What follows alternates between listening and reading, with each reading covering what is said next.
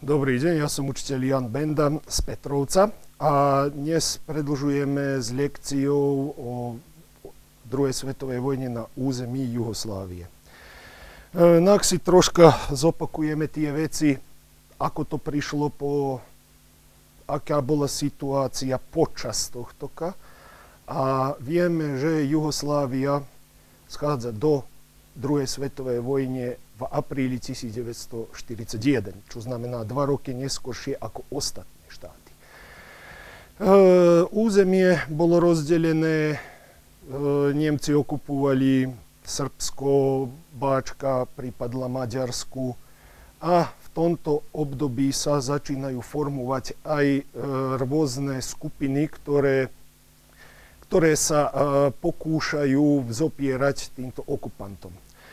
No, e, vieme, že z počiatku to nešlo až tak ľahko a že medzi týmito dvoma hnutiami, ktoré jestvovali, začína občianská vojna. Čo znamená, bojovali aj proti Nemcom, ale neskôršie aj medzi sebou. Čo znamená, ešte viac sa oslabovala ich bojaschopnosť. Ale videli sme, že partizánske jednotky boli oveľa lepšie organizované, že mali aj ten základ ilegálnej práce. Kým četníci pochádzali z tej vojenskej organizácii a museli e, v tom priechode začať e, svoju organizáciu a ostatné. No, teraz začíname s lekciou Jugoslovenské boisko a záverečnej fázy vojny 1943 až 1945. Prvé čo e, spomenieme, je bitka na Neretve.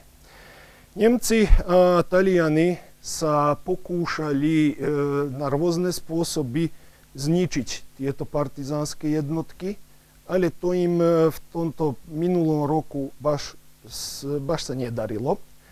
A teraz v Ríme začínajú začiatkom januára 1943 plánovať operáciu Weiss, alebo biele, ktorá mala e, priebežne začať v druhej polovici januára. Konečný plán bol rozpracovaný e, v Záhrebe a tuto sa zorganizovalo viac ako 90 tisíc nemeckých, talianských, ustašovských a neskôršie sa pripojilo aj okolo 2000 četníkov. E, začiatok tejto operácii je 20. január. Tuto môžeme vidieť e, boisko, e, lebo partizáni vieme, že po páde Užickej republiky sa utiahli do Bosny, kde mali oveľa lepšie podmienky na tú e, gerilskú vojnu. Ale keď pozrieme, že 90 tisíc vojakov a partizáni mali okolo 42 tisíc. Lenže aj tento sám e, počet e, nehovorí toľko o bojaschopnosti, lebo e, Nemci mali vynikajúcu techniku, ktorú využívali maximálne, kým partizáni mali len ľahšie zbranie. S týmto k zač začína obkľúčovanie týchto partizánskych jednotiek. No, tuto vidíme, zábery. Toto, toto vám napríklad e, neskôršie vysvetlím, prečo, prečo je to také dôležité, tento obrázok. A s týmto, že četníci začínajú spolupracovať s Nemcami, znamená, že pomaly odchádzajú od tej e, základnej ideje obnovenia Jugoslovanského kráľovstva. E, teraz, E, partizáni začínajú prípravu na útek a v prvých, prvých tých fázach vojny prerazili nem, e, nemecké a talianské obklúčenie, ale sa dostávajú na rieku Neretvu, kde na druhej strane bol most cez rieku, na druhej strane ich očakávala väčšia jednotka četníkov, a vieme, že cez most e, nemôž prechádzať vo väčšom počte, tak sa rozhodli na inak povieme také radikálnejšie riešenie, a to je mínovať most.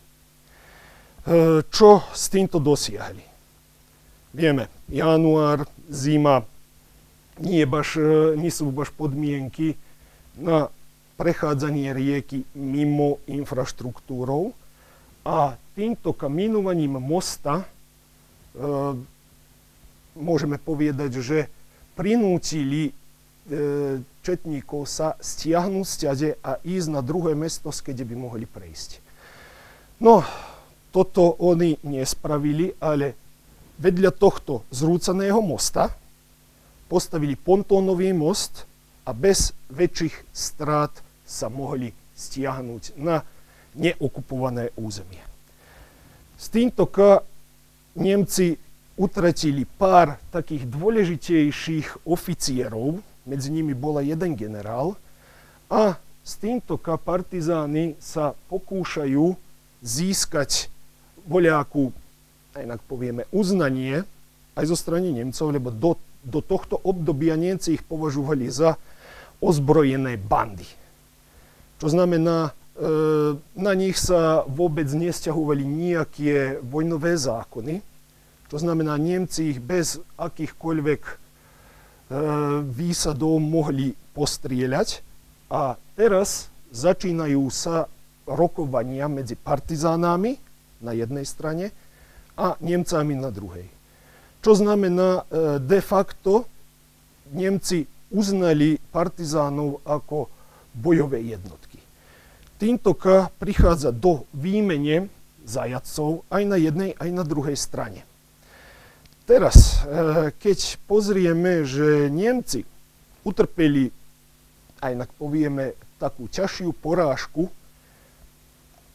nie, vojen, nie vojenskú, ale viac taktickú. Partizáni boli ľahko vyzbrojení, aj ľahko pohybliví. Nemci museli presúvať aj dela, aj tanky, aj to, čo vyžadovalo dosť veľa času. No, týmto neúspechom Nemci začínajú organizovať lepšie vyplánovanú akciu a tuto zbadali, že napríklad četnícke jednotky vôbec nie sú efektívne a môžu vyvolávať dosť veľké rozbroje na území, ktoré kontrolujú. Teraz, keď e, pozrieme, že v tomto čase operácia Švarc, alebo Čierne, Nemci majú 120 tisíc vojakov. Kým e, na Neretve mali okolo 90, tuto ešte viac dali dôraz na to, aby partizáni nemohli sa vôbec vytiahnuť z tohto obklúčenia. Ale prvá fáza bola odzbrojovanie četníkov na území dnešnej Čiernej hore na území Kolašin-Nikšiť.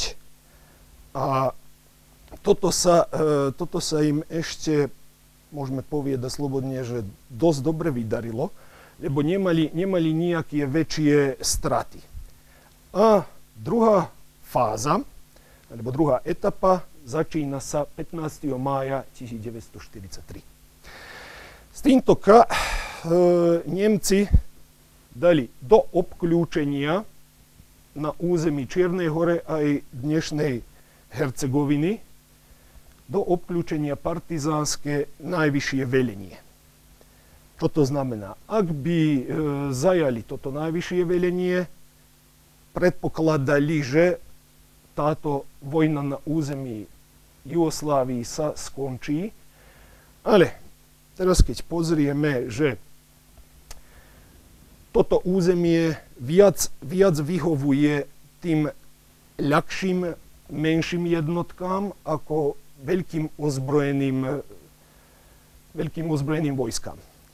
E teraz, e, v tomto období od 15. mája do 15. júna na, na návrh Winstona Churchilla k partizánskému najvyššiemu veleniu prichádza poslanec William Stewart, ktorý nadvezuje kontakty partizá, s partizánami a z prvej ruky môže posielať e, správy svojim nadriadeným, ako, ako ktorá skupina sa správa v tomto období. No, e, tuto keď pozrieme, že partizáni mali v tomto čase okolo 18 tisíc vojakov a porovnaní s tým 120 tisíc to je veľmi veľký, e, veľmi veľký rozdiel. A partizáni tuto utratili dosť veľa bojovníkov. Až 6 tisíc. Ale z tohto obklúčenia sa ľahko vytiahli v smere ústrednej Bosny a tuto sa začína formovať jedna, tak povieme, nad, e, nad e, vojenská organizácia, a to Antifašistická rada národného oslobodenia Jugoslávie, alebo AVNOJ. A prvé zasadnutie sa održalo v Bicháti, kde sa stretli predstavitelia rôznych od, odborov, ako zo Slovenska, Chorvátska, Bosny a Čiernej hory. Tuto sa ešte nespomínajú Srbsko a Macedónsko, lebo oni boli pod ťažkou okupáciou aj Nemcov, aj Bulharov. A toto malo za, poviem, na, e, za najdôležitejší cieľ zorganizovať fungovanie tejto organizácie. E, formujú sa politické orgány, ale e, môžeme povedať, že toto bol začiatok tejto štátotvornej organizácie. E, nasledovný, nasledovné zasadnutie, ktoré spomenieme, je druhé zasadnutie Avnoja, ktoré bolo od 29. do 30. novembra 1943. E, tí starší, napríklad vaši rodičia, starí rodičia, sa pamätajú, že 29. novembra bol Deň republiky. Čo to znamená? Na tomto druhom zasadnutí bolo oveľa viac delegátov ako v Bicháti a štým, e, s týmto sa začína formovať, tak povieme, politické, politické orgány, e, štátny, štátny systém a tuto sa rozhodli, že štát rozdelia na e, viac federálnych jednotkov, ako, to, ako čo je napríklad Slovinsko, Chorvátsko, Bosna, Hercegovina, Čierna hora, Srbsko a Macedónsko, ale dosta, dosta, e, dostali, aj, e, dostali sa aj dve autonómne oblasti, ako čo je Vojvodina a Kosovo. E, tutoka oni sa rozhodli, že zakážu návrat kráľovi do štátu. Toto malo dosť veľký význam pre E, nasledovnú etapu, ktorá mala formovať e, štát ako federálnu so, socialistickú republiku. A na tomto zasadnutí Josip Broz Tito dostáva titulu maršala a každý národ na území, napríklad Slovinci, Chorváti, Bosniaci, mohli rozhodovať o svojom stave voči štátu. Napríklad, e, tuto sa dáva aj ten základ, že môže sa, môžu sa e, rozhodnúť, či chcú žiť v jednom štáte, alebo sa oddelia. No, ako odpoveď na toto zasadnutie jajci bolo Svetosavský zjazd 27. a 28. januára 1943, kde Draža Michajlovič zvolal ravnogorské hnutie a chceli potvrdiť svoju vernosť kráľovi a monarchii. S týmto sa donieslo rozhodnutie, že uznávajú sa len tri konstitutívne národy, ako čo sú napríklad Srbi, Chorváti, Slovinci. Vôbec sa tuto nespomínajú ani Macedónci, ani Bosniaci, ani Čiernohorci. E, na tomto zjazde ešte odznelo aj to, že četníci najviac budú musieť e, svoju pozornosť upraviť voči partizánom a nie Nemcom.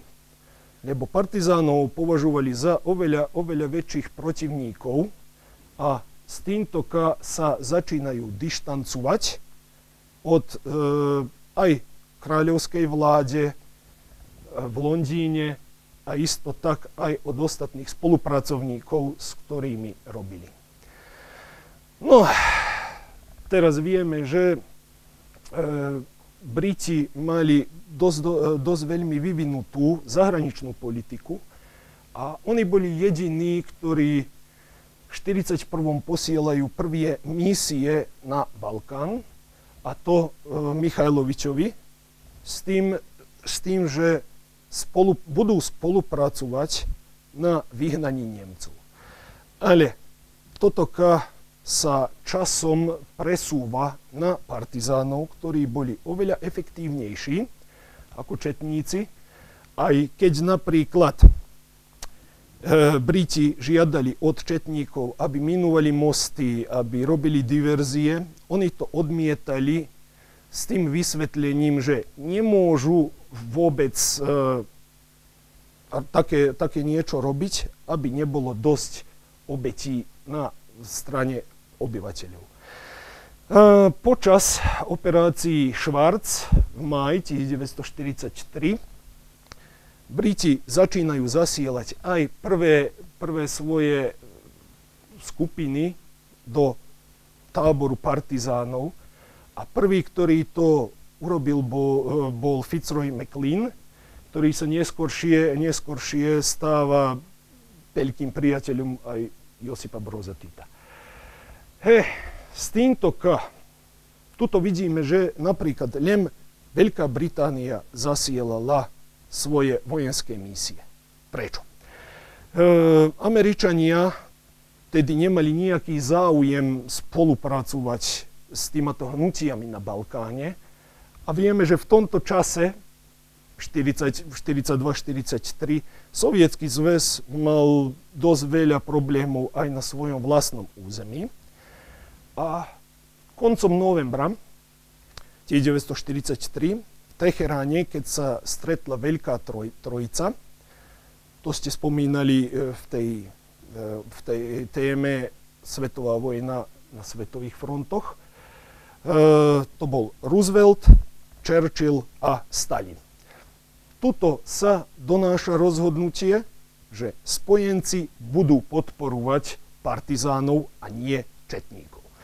E, teraz, keď už e, aj spojenci uznali túto Titovú vládu, tak 1. 1. júna 1944 kráľ Petar II. Karadžordževič vymenoval e, chorvátskeho bána Ivana Šubašiťa, aby e, sa stal predsedom vlády a spolupracoval s Titom. E, tuto sa nemohlo doniesť rozhodnutie len, len skrz toho, že boli veľmi rozdielne aj inak povieme, požiadavky aj jednej, aj druhej strane.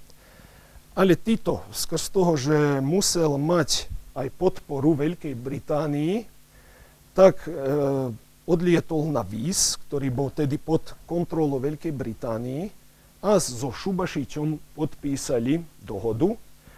Ale e, v tejto dohode sa donieslo rozhodnutie, že teraz sa nebudú riešovať tie veľké problémy, ale tie problémy sa vyriešia po vojne. Keď povieme vyriešia po vojne. Čo to znamená? To znamená, že ľudia vyjdú na voľby, budú tam hlasovať a vieme, že v tomto čase partizáni kontrolovali dosť, e, dosť veľké územie, kde mohli napríklad aj nanútiť voličov, aby hlasovali tak, ako im zodpovedá. E teraz prichádzame na to, najdôležitejšie a budete vidieť, že tu je to voľaké rozdiely, lebo vieme, že vojna v Európe sa ukončila skor, skorej, ako čo sa ukončila v Juhoslávii. No, tutoka máme pár takých dôležitých udalostí, ako napríklad, čo je prielom Sriemského frontu. Tuto sa začína zoskupovať dosť veľký počet novo, novorekrutovaných vojakov, ktorí nemali skúsenosti a s týmto aj Ústašovia, aj Nemci dobre zorganizovali obranu a s týmto partizáni zoskupili viac, a, e, okolo 300, 300 tisíc tých nových dobrovoľníkov, ktorí mali za úlohu vymoriť Nemcov a oslabiť ich bojaschopnosť. E, s týmto e, vieme, že keď máme dosť veľa tých nováčikov, tak to znamená, že bude aj veľký počet e, zranených a zavraždených. Tento e, Srienský front za svoje obete vyžiada, vyžiada dosť veľa obetí a tuto napríklad účinkovala aj 14. vojvodinská slovenská úderná brigáda a s týmto sa môže, môže povedať, že pomalí sa už e, blíži koncu tento veľký konflikt. E, keď pozrieme toto, že 1. mája zaujali Terst. Kde sa nachádza Terst? Ak vieme troška aj zemepis, tak e, povieme, že Terst sa nachádza v Taliansku. Aký, e, aký toto mal dôvod zaujať Terst. Jugoslávia, ktorá sa považovala za, tak povieme, riadne vojsko a e, obviňovali Talianov, že im od, odujali dosť veľa územia a v Terste isto tak žilo dosť veľa občanov, ktorí pochádzali z priestorov Jugoslávie, tak prichádza aj do konfliktu medzi spojencami ako takými. Napríklad Veľká Británia a Spojené štáty americké boli proti tomu, aby Jugoslávia okupovala Terst a to sa riešovalo dosť veľa rokov a s týmto sa začína konflikt aj medzi spojencami, lebo vieme, že vo vojne máte aj spojencov, aj protivníkov. E, 8. mája partizánske jednotky vstupujú do Záhrebu a e, vyhnali a Pavelića aj Ustašov, ktorí napríklad ešte nemali, nemali času ujsť, tak sa neskôršie začínajú stiahovať v smere severa, Slovínska a Rakúska, ale neskôršie tieto partizánske jednotky väčšinu týchto týchto utečencov e, dostihli a dosť veľa ich aj povraždili. E, vidíme, že veľmi rýchlo postupovali a už nasledovný deň schádzajú aj do Ljubljane, alebo dnešného hlavného mesta Slovínska. A týmto sa pomaly končí druhá svetová vojna aj na území Jugoslávie, lebo 9. mája, ako čo viete, nemecká vrchná komanda podpísala kapituláciu. Nepodpísala prímery ako napríklad prvej svetovej vojne, ale kapituláciu. Prečo, prečo napríklad na území Jugoslávie vojna trvá až do 15. mája? Máme tu viac dôvodov a jeden z nich je ten, že nemecké vojenské oddiely na tomto území porobili dosť e, veľa zverstiev, povraždili obyvateľov, e, spálili majetky, robili to, čo sa im chcelo. No. A s týmto Nemci sa obávali, že ak ostanú na území Jugoslávie, partizáni ich e, zajmú a potom budú s nimi nakladať ako so zločincami, tak chceli sa dostať na územie, ktoré kontrolovali alebo Briti, alebo Američania. Zato táto vojna na území Jugoslávie trvala oveľa dlhšie ako v Európe. Lebo všade inde, napríklad vo Francúzsku v Holandsku, Belgicku, nemecké, nemecké jednotky zložili zbranie ešte driou, ale keď prišlo rozhodnutie o kapitulácii, všade Nemci priznali porážku, len na našom území sa ešte stále držali toho, čo, lebo, lebo obávali sa za svoj život. No, e, teraz viem, že toto nie je vôbec populárne a tieto a e, domáca úloha je vzťah spojencov voči hnutiam. Teraz, ktoré máme hnutia na tomto území? Máme četníkov, máme partizánov. Teraz porovnajte, aký, aký bol vzťah. Máte to aj v knihy, troška e, detálnejšie rozpracované, ale ako, ako sa e, premiesňovalo toto dobré vzťahy z jedných na druhých. Prečo? A potom, prečo podporili partizánov a nie četníkov? E, toto je troška taká dlhšie, e, za dlhšie rozmýšľanie a s týmto budete môcť porovnať taktiky, ktoré používali aj jedni, aj druhí. E, že napríklad obidvaja mali podobné, podobné e, rozčlenenie jednotiek, ale i celkom iný prístup. No, dobre, mne sa zdá, že to je to. Ďakujem.